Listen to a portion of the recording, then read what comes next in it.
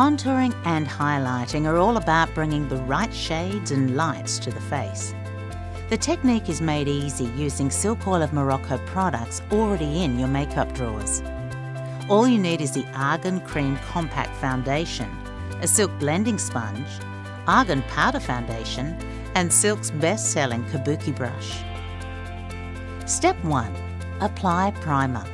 As always, we apply our Silk Antioxidant Primer to the entire face before makeup application. Step 2. Apply foundation using the same Silk blending sponge and your cream compact.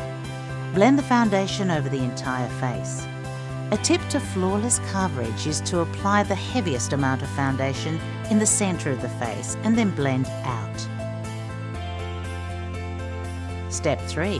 Highlight. To highlight, you want to use a cream compact foundation two shades lighter than your normal foundation colour.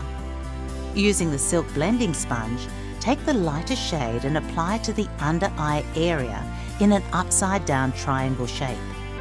Then apply to the centre of the forehead, the brow bone, chin and down the bridge of the nose. Step 4. Contouring. To contour, apply a cream compact foundation 2 to 3 shades darker than your natural skin tone, using the silk blending sponge to line the hollows of the cheeks, down the sides of the nose, the forehead and under the lip.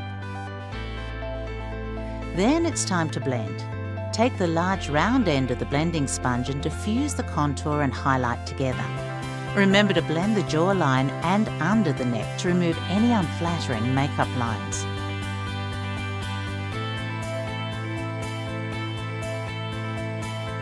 Setting with powder.